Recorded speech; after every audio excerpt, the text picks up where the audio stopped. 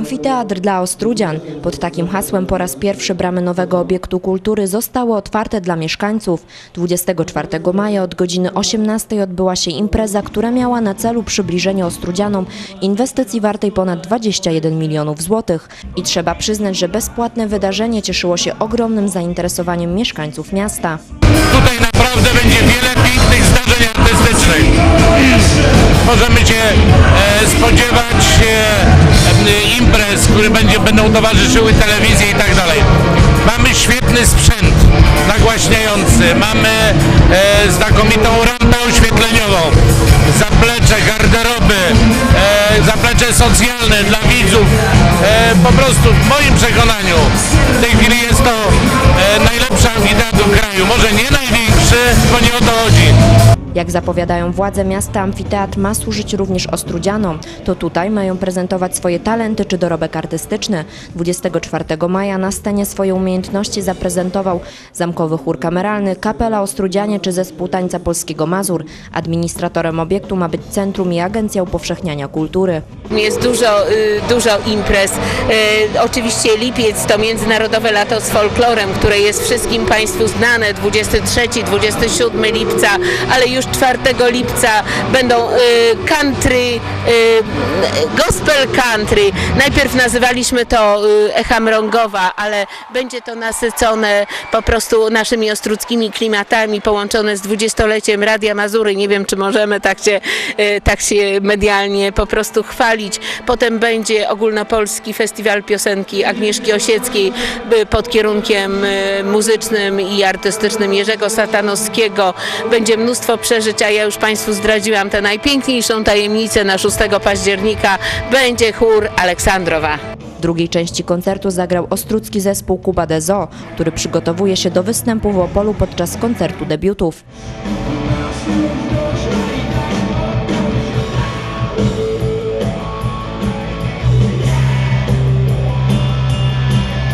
Podejrzewam, że jeżeli chodzi o ilość miejsc podobna, publiczności, no na pewno lepsze warunki, bo sprzyjające bo we własnym mieście, nie? Gwiazdą wieczoru był zespół Enej, który został założony w 2002 roku w Olsztynie. Choć na rynku muzycznym istnieje od wielu lat, prawdziwy przełom w ich karierze nastąpił w 2010 roku, kiedy to Enej wygrał popularny program muzyczny Must Be The Music, tylko muzyka. W Ostrudzie Enej podczas półtora godzinnego koncertu zaprezentował swoje największe przeboje.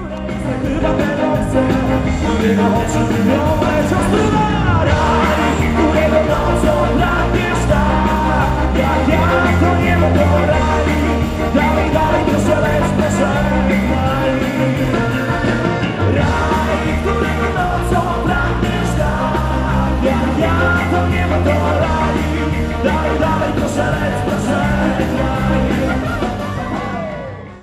Głównym punktem obchodów było otwarcie fontanny za blisko 2 miliony złotych. Fontanna wyposażona jest w system audiowizualny, a jej centralnym punktem jest replika rzeźby rybaka. Woda w fontannie jest podświetlana, a strumienie mogą poruszać się w rytm muzyki. Nowoczesna fontanna będzie działać od poniedziałku do czwartku od 10 do 20, w piątek o godzinę dłużej, a w sobotę i niedzielę do godziny 22.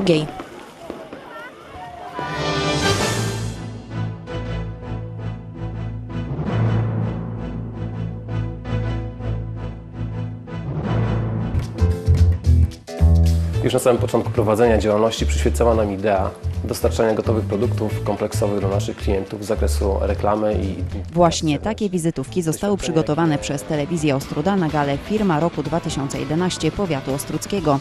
Była to już szósta edycja konkursu, którego celem jest prezentacja i nagrodzenie przedsiębiorstw za ich wkład w rozwój gospodarczy regionu. firmy, które dostają od nas te tak zwane róże powiatu, one nie mają kolców. Te róże mają same płatki. Te róże są wyrazem podziękowania. Te róże są wyrazem podziękowania za ich pracę, a przede wszystkim za ich funkcjonowanie w naszym powiecie, w województwie, w Polsce. Uroczystość wyglądała mniej więcej tak. Były gratulacje i nagrody, a potem krótka prezentacja działalności poszczególnych firm. Głównym naszym produktem są osadniki kanalizacyjne. Dodatkowo produkujemy również kosze na śmieci, te uliczne tak. I jak również e, ostatnio e, rozpoczęliśmy produkcję e, wiaderek ze stali szlachetnej. Kapituła konkursu przyznała nagrody w kilku kategoriach. W sumie wizytówek zostało zrealizowanych 20. Tytuł firmy roku w kategorii mikroprzedsiębiorstwo otrzymali właściciele hurtowni Zbych, Zbigniew Frądczak i Przemysław Kowalewski z Ostrudy oraz przedsiębiorstwo wielobranżowe Autoekspert Piotr Kulesza z Morąga. W kategorii średnich przedsiębiorstw firmą roku uznano spółdzielnię mieszkaniową Jedność w Ostrudzie.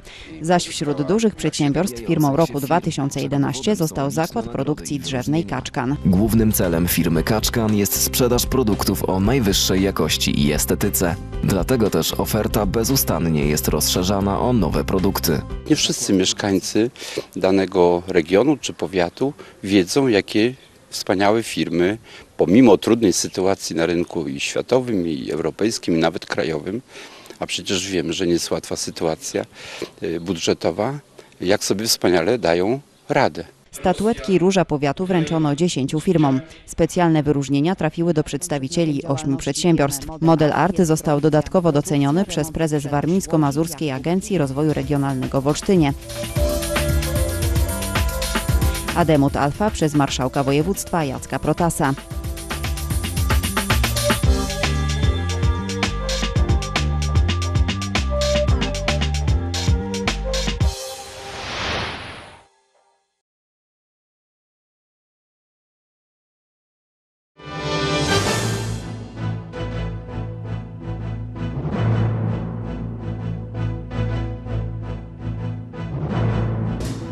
Przed Sądem Okręgowym w Elblągu zapadł wyrok w trybie przedwyborczym w sprawie, jaką burmistrz Olgier Dąbrowski wytoszył pełnomocnikowi inicjatorów referendum Agnieszce Karłowicz.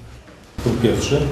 Zakazać uczestniczce Agnieszce Karłowicz publikowania informacji, że lekceważące podejście Olgierda Dąbrowskiego, burmistrza miasta Ostrudy, do remontu budynków komunalnych oraz zaniedbania gminy miasta Ostruda, którą kieruje Olgierd Dąbrowski w sprawie instalacji gazowej w budynku przy ulicy w Ostrudzie, doprowadziły do wybuchu gazu w tym budynku, jak też, że Olgierd Dąbrowski zacierał ślady i ukrywał prawdę o zaniedbaniach, nakazując rozbiórkę pozostałości po spalonym budynku bez konsultacji z jednostką prokuratury prowadzącą postępowanie w sprawie przyczyn pożaru. Punkt drugi. Nakazać uczestniczce Agnieszce Karłowicz przeproszenie wnioskodawcy Olgierda Dąbrowskiego i sprostowanie nieprawdziwych informacji przytoczonych punkcie pierwszym postanowienia poprzez zamieszczenie na własny koszt w terminie 48 godzin od daty uprawomocnienia się postanowienia Wyrok nie jest prawomocny, można się od niego odwołać w ciągu 24 godzin do Sądu Apelacyjnego w Gdańsku.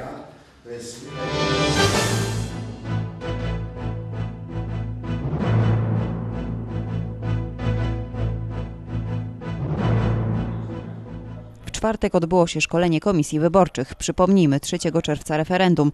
Pytanie na kartach do głosowania będzie brzmiało, czy jest pan, pani za odwołaniem przed upływem kadencji burmistrza Olgierda Dąbrowskiego ze stanowiska.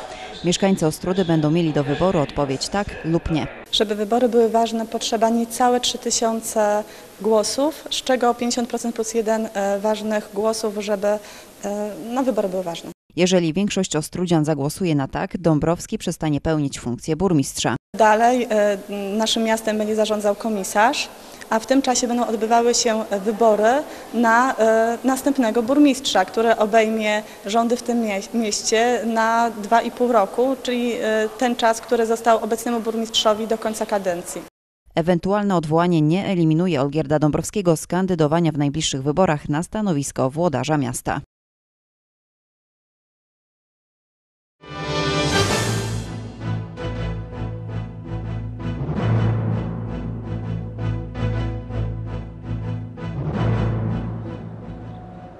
Komu z nas nie zdarzyło się złamać przepisów ruchu drogowego, a za karę zapłacić mandat czy mieć na swoim koncie punkty karne?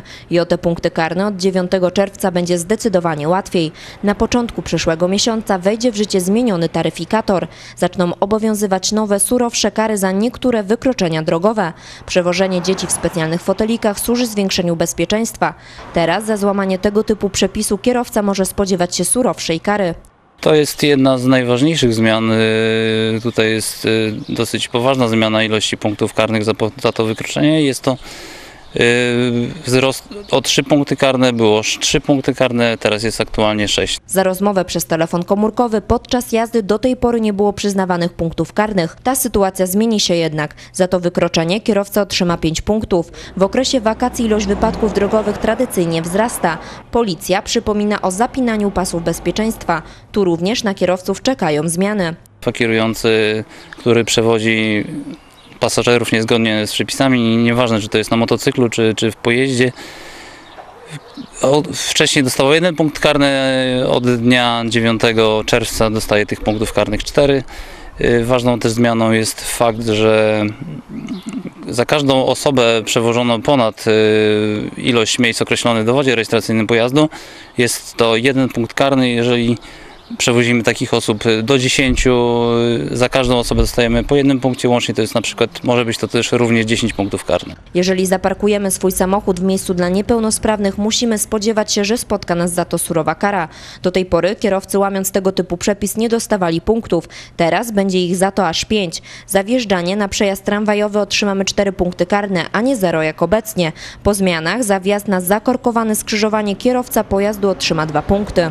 Y, Mam nadzieję, że taka ilość wykroczeń, tych tutaj szczególnie wy- wymienionych przeze mnie przed chwilą, na pewno ograniczy to ilość tych wykroczeń. Mam taką nadzieję, że kierowcy również będą bardziej restrykcyjnie podchodzili do tych zmian.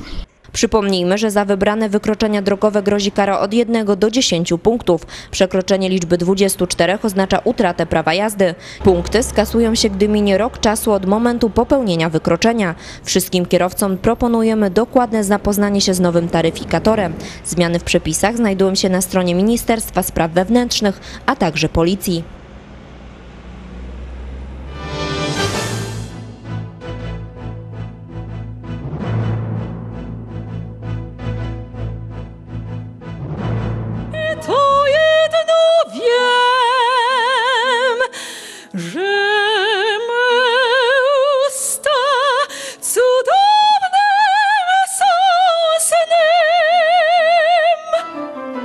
Działacza Kultury Ostrudzianie obchodzili w towarzystwie znanych artystów. Grażyna Brodzińska, śpiewaczka operetkowa, musicalowa oraz operowa, praktycznie urodziła się na scenie. Jest córką solistki Ireny Brodzińskiej i reżysera Edmunda Wajdy. Kobieta wobec publiczności jest bardzo wyrozumiała i to, co potrafi doprowadzić do furii niejednego artystę, sopranistce akurat ciśnienia nie podnosi. Jak lekko, wdzięcznie w taniec mknie. Zdjęcia od czasu do czasu są robione, no bo ktoś tam chce mieć na pamiątkę, ja to rozumiem i, i nie krytykuję tego, bo to jest takie normalne, prawda? I no, no a, a, a tak jak powiadam, telefon to jest przypadek, że, że, że to, to niespecjalnie ktoś zrobił, mógł zapomnieć naprawdę, wyłączyć i wtedy sam, sama ta osoba się bardzo denerwuje. Ja sobie wyobrażam w trakcie koncertu, jak zadzwoni mu telefon, jak się musi denerwować. Żart teatralny, proszę Państwa, na e, widowni w teatrze kameralnym, na premierze e, siedział widz i odezwała mu się komórka. I on tę komórkę odbiera w trakcie przedstawienia. I mówi tak, tak, w kameralnym, na premierze, tak. No tak sobie. I to właściwie była najkrótsza recenzja. Działacz kultury nie tylko ją propaguje, ale przede wszystkim robi to w kulturalny sposób. Stąd nasza szeroko pojęta interpretacja tego święta. Damian Damiecki z zawodu aktora prywatnie mąż 10 lat młodszej Grażyny Brodzińskiej funkcję działacza kultury docenia, ale nie do końca rozumie. Mnie dancjory. Kiedyś dostałem medal tak zwany jako e, działacz kultury, ale na dobrą sprawę to nie wiem na czym to polega. Nie wiem co to jest. Wiem natomiast co to jest pracować, jak to się potocznie mówi w tak zwanej kulturze e, i pracować dzisiaj w teatrze. Teatr dzisiaj, ten repertuarowy, artystyczny, grywający sztuki e, wieloobsadowe, no powoli zaczyna kuleć. I na cymbałach struna drga, czardasza wtedy tańczyć chce, z każdym co będzie kochał mnie. Kulturalnie i ze smakiem powinno być za każdym razem, gdy artysta wychodzi na scenę. Zasada ta według Damieckiego dotyczyć powinna każdego. I tu wychodzi na jaw bolesna prawda. Kicz jest także w cenie. Zirytowany aktor nie szczędzi słów krytyki wobec amatorów mocnych wrażeń.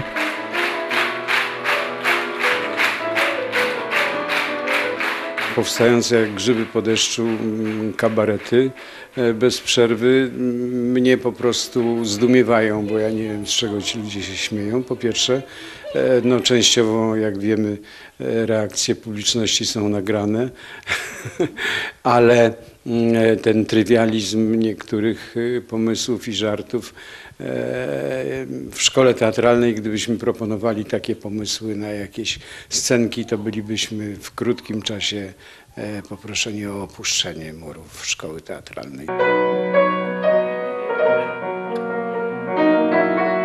Brodziński akompaniował podczas koncertu Janusz Sent. Pianista i kompozytor zarazem na temat kultury także ma zdanie wyrobione. Muzyk na własnej skórze przekonał się, że wszyscy jesteśmy z nią na bakier. Na koncercie w Chicago konkurencja dała mężczyźnie nieźle popalić. Wydarzenie z lat 70. utkwiło w pamięci na długo. To sen, który się spełnił, niestety tylko raz. Sala olbrzymia na 2000 osób i piękny fortepian stał na scenie. I w momencie, kiedy nie sprawdzałem instrumentu przed koncertem, bo przyjechaliśmy w ostatniej chwili, także prosto żeśmy poszli za kulisy i później siadłem do fortepianu i okazało się, że miałem parę żyletek między, między klawiszami. Także to się marnie skończyła gra. No ale trzeba było koncert dokończyć. Do tego nie zapomnę do końca życia. W Ostrudzie na artystów nie czekały żadne smutne niespodzianki. Dzień Działacza Kultury obchodzony 29 maja przebiegł jak najbardziej kulturalnie i tego wszystkim wypada życzyć więcej kultury na co dzień, a nie tylko od święta. Chociażby w tańcu oddała duszę, może zapomnę wreszcie tego, co mi serce moje skradło.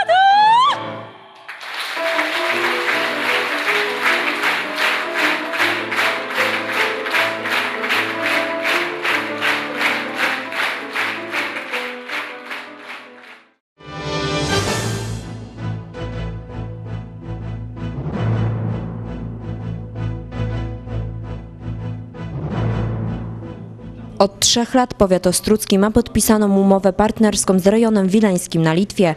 Dzięki niej już po raz drugi zorganizowano forum gospodarcze dla przedsiębiorców z powiatu ostruckiego i sąsiednich państw. Debata ludzi biznesu odbyła się 18 maja. Służy to temu, żeby w tej części Europy, w tej części województwa warmińsko-mazurskiego dać szansę przedsiębiorcom. Bo dzisiaj to forum de facto służy nawiązaniu kontaktów między przedsiębiorcami, bo dzisiaj tu nie ma wielkich władz, władz samorządowych, władz, one tylko stoją jakby z boku. Dzisiaj są tu przedsiębiorcy. Przyjeżdża ich bardzo dużo, przyjeżdża ich dużo z Litwy, jest część z Rosji, część z Ukrainy i są nasi przedsiębiorcy z powiatu ostruckiego. Na terenie powiatu ostruckiego funkcjonują przedsiębiorstwa z różnych branż specjalizujące się w kilku gałęziach gospodarki. W Ostrudzie i okolicach mamy zakłady mięsne, mleczarskie, spożywcze czy firmy specjalizujące się w przemyśle drzewnym. W drugim forum gospodarczym udział brał Mirosław Mostowy, który od wielu lat zarządza zakładem stolarskim. Dzisiejsze forum jest szansą na nawiązanie współpracy gospodarczej z firmami z państw e, z tutaj ze ściany wschodniej, czyli z naszymi sąsiadami najbliższymi, z Rosjanami, czy, czy z Litwinami, czy też e, z Ukraińcami. E, takie forum odbyło się już w zeszłym roku. Nie, efektów może tej współpracy, efekty nie były naj, najlepsze, ale to jest dopiero początek. Trzeba rozmawiać, trzeba, trzeba zacząć po prostu spotykać się. Na pewno coś z tego wyniknie. W dobie kryzysu ekonomicznego ciężko jest utrzymać swoje firmy w dobrej kondycji finansowej, a co dopiero myśleć o ich rozwoju i zatrudnieniu większej ilości pracowników. Kryzys, kryzys dopadł chyba już wszystkich. No, ja prowadzę firmę, która, jest, która świadczy usługi dla ludności. Wiadomo, jeżeli, jeżeli ludność nie ma pieniędzy, to ja ich nie będę miał, po prostu nie będzie, będzie dużo mniej zleceń. Także no, jest on odczuwalny. No, kiedy będzie koniec tego kryzysu, tego no, nie wiemy. Pozostaje tylko liczyć, że przedsiębiorcy z powiatu ostruckiego ten kryzys przetrwają, a dzięki forum gospodarczemu, które się odbyło, nawiążą nowe kontakty i umowy, dzięki czemu właściciele firm będą zatrudniać nowe osoby do pracy, a tych, którzy jej poszukują w powiecie ostruckim jest bardzo wiele.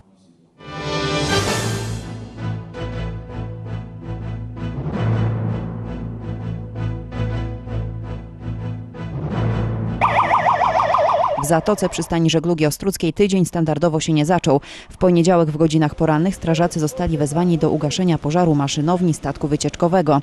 Gdyby straż spóźniła się kilkanaście czy nawet kilka minut, doszłoby do poważnego skażenia środowiska. Ten epizod e, obejmuje skażenie powierzchni wody przez wyciek substancji ropopochodnej z uszkodzonego statku. E, No i ostatecznie, jeżeli e, z wywiadu, ze zdarzenia wyniknie, że jedna osoba prawdopodobnie utonęła w trakcie tego zdarzenia, próbując się ratować przed pożarem. To akcja upozorowana. Ćwiczenia są realizowane przez służby bezpieczeństwa kilka razy w roku. Ich przebieg jest nadzorowany i koordynowany przez dowódcę jednostki. Gdyby poszkodowani nie byli manekinami, strażacy również stanęliby na wysokości zadania. Znaczy tak, oczywiście mamy procedury, które gwarantują nam uzupełnienie stanu osobowego i sprzętowego. E, Posilamy się siłami ochotniczych straży pożarnych. W każdym razie w każdej chwili możemy przerwać epizod i podjąć e, działania związane z prawdziwym zdarzeniem. Takiej potrzeby akurat nie było. Warto jednak mieć świadomość, że w Straży Pożarnej nieustannie prowadzone są rozmaite szkolenia, na czym korzystają strażacy, zwiększając swoje doświadczenie zawodowe, ale także my, mieszkańcy. Dzwoniąc pod numer 112 lub 998 zawsze możemy liczyć na pomoc.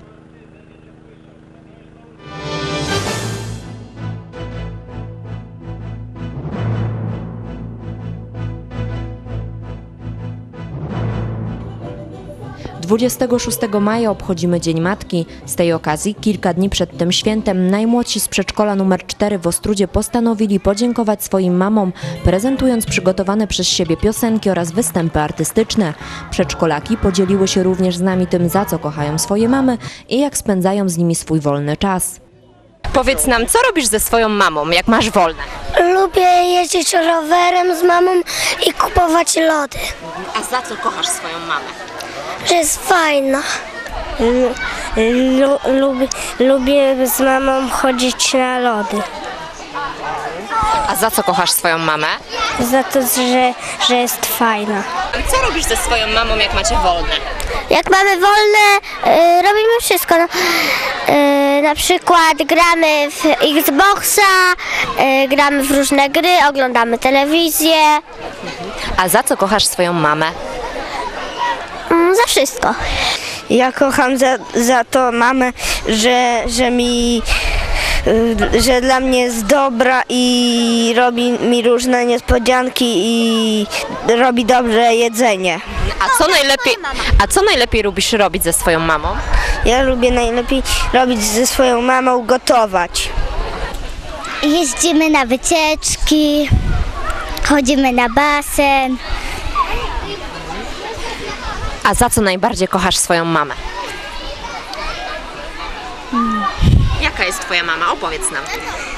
Miła, bardzo mnie kocha. Powiedz nam, jaka jest twoja mama? Miła, dobra. A co robisz z mamą, jak macie wolne?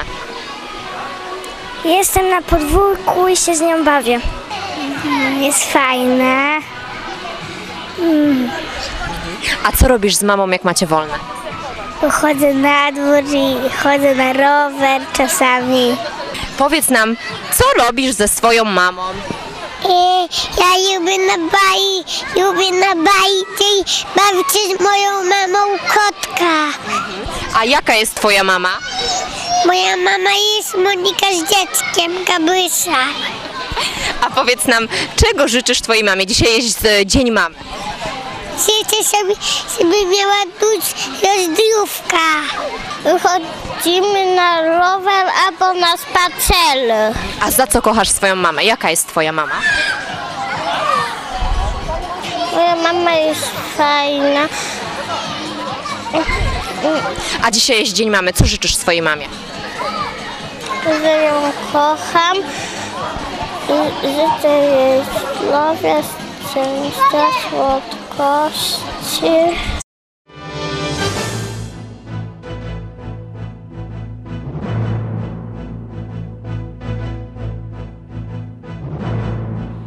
Góra Dylewska słynie z imprez rekreacyjnych i z Sasinów. To właśnie na ich cześć organizowany jest na wzgórzach szereg sportowych zmagań.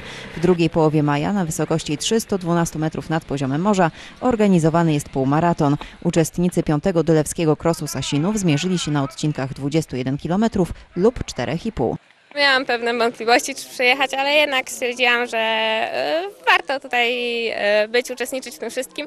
E, No będzie satysfakcja na pewno, jak się to już wszystko skończy i będzie po, a nie znowu wyrzuty sumienia, że o nie, poddałam się. Do rywalizacji na dłuższym odcinku zgłosiły się 54 osoby, na krótszym 53. To zaledwie kilku zawodników więcej niż w roku ubiegłym. Cross stopniowo pracuje na swój prestiż. Góra Dylewska niczym magnes przyciąga sportowców. Organizator jest święcie przekonany, że historyczni Sasini mają w tym swój mały współudział. Sasinowie no to jest historyczne plemię pruskie, które tutaj zamieszkiwało jeszcze przed e, czasami krzyżackimi, e, czasami zakonu krzyżackiego, a później państwa pruskiego, czyli my jakby nawiązujemy do autentycznych korzeni, do ludzi, którzy tutaj byli, powiedzmy sobie, pierwsi. Ale też byli sportowcami, tak jak wy? No, tego do końca nie wiemy, czy byli sportowcami, na pewno musieli utrzymywać dobrą kondycję, żeby tu przetrwać. Dylewskie imprezy przypadły do gustu nawet biernym obserwatorom. Klimat panujący na najwyższym wzniesieniu północno-wschodniej Polski odpowiada niejednemu. O magii tego miejsca powinien się przekonać każdy, nawet nieskory do aktywnego spędzania czasu. Kibicuję swojemu mężowi. Drugi biegnie już, w tamtym roku bieg. E, Stwierdził po, po iluś tam biegach, że to jest, był najcięższy bieg, ale e, taką wielką frajdę mu sprawił. Dlatego tu jestem, bo popieram jego pasję, on popiera moja, ja jego. My tymczasem przypominamy o kolejnej okazji wybrania się na wzgórza. W tą sobotę 26 maja rusza rajd rowerowy organizowany przez gminę Ostruda. Do wygrania będą atrakcyjne nagrody. Zapisy uczestników odbędą się na plaży jeziora Sajmino. Zgłaszać chęć uczestnictwa można od godziny 10.30.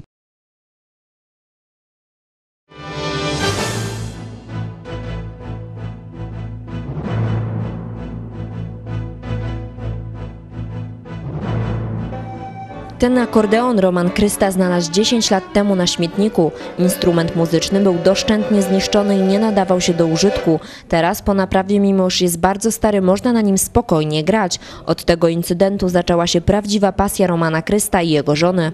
Z żalu, że te instrumenty niektóre były, proszę pani, w takim stanie, no w śmietnikach po prostu. I postanowiłem te instrumenty leczyć. Także mnie nazywają takim lekarzem od, od tych instrumentów. 23 maja w Galerii Sztuki na Ostruckim Zamku odbyło się otwarcie wystawy zabytkowych instrumentów muzycznych. Kolekcja liczy ponad 100 różnorodnych instrumentów, zarówno tych wyprodukowanych w Polsce, jak i za granicą. Staramy się pokazywać Państwu różne rzeczy, nie tylko sztukę e, malarzy zawodowych e, czy fotografię, ale również od czasu do czasu trafia do Galerii Sztuki wystawa kolekcjonerska. Mm, Taka właśnie jest dzisiaj. E, Swoją kolekcję przywiózł do nas Częstochowy pan Roman Kryst. Jest to przepiękna, bogata, ogromna kolekcja zabytkowych instrumentów muzycznych. E, Zachęcam Państwa do zobaczenia. Akordeon to ulubiony instrument kolekcjonera. W swoich zbiorach ma te wyprodukowane w Polsce, jak również w Europie. Każdy z nich jest zupełnie inny, a niektóre ze zdobień to prawdziwe dzieła sztuki.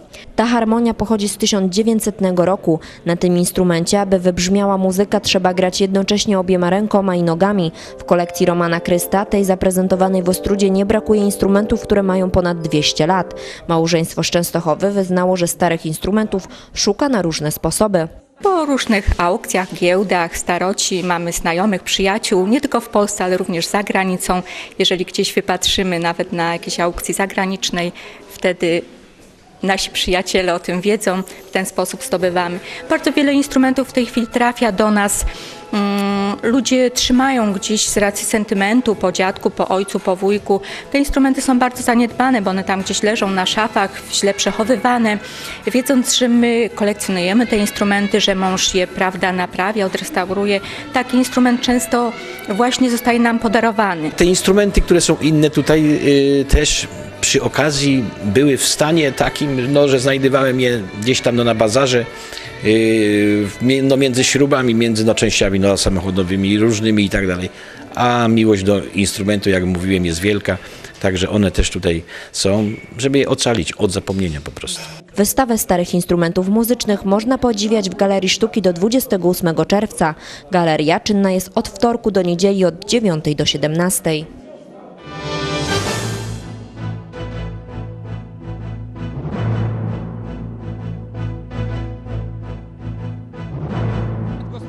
Tym razem to Mazur Ełk był rywalem ostruckiego Sokoła w walce o kolejne trzy punkty.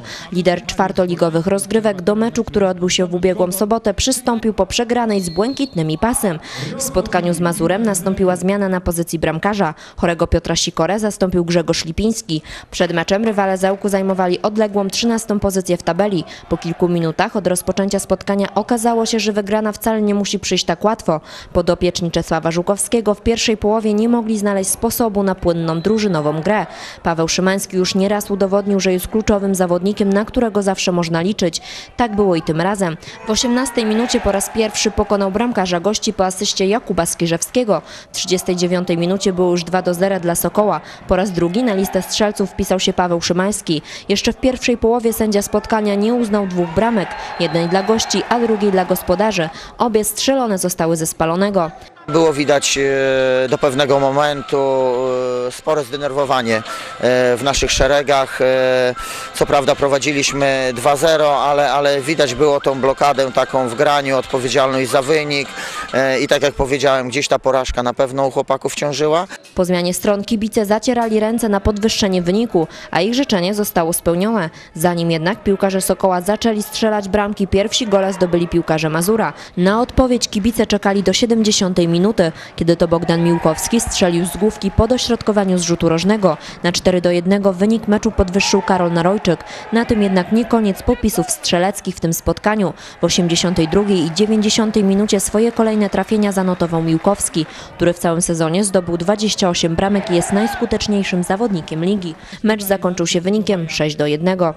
Trudno tak do końca ocenić, bo, bo wygraliśmy zdecydowanie I, i myślę, że tutaj e, ta trzecia bramka e, jakby otworzyła, otworzyła znowu e, u chłopaków głowy, spokój i to później już było widać. Na pewno też e, zadowolony jestem, że, że Maciek Szostek e, wszedł.